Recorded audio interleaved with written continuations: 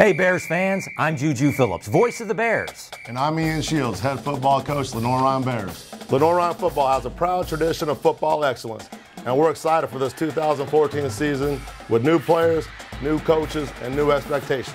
Join us Saturdays this fall and celebrate 50 years of football between the bricks as the Lenoir-Rhyne Bears go in search of our fourth straight South Atlantic Conference Championship. Come watch the Bears attack and take charge of 2014. Touchdown, Lenoir-Rhyne.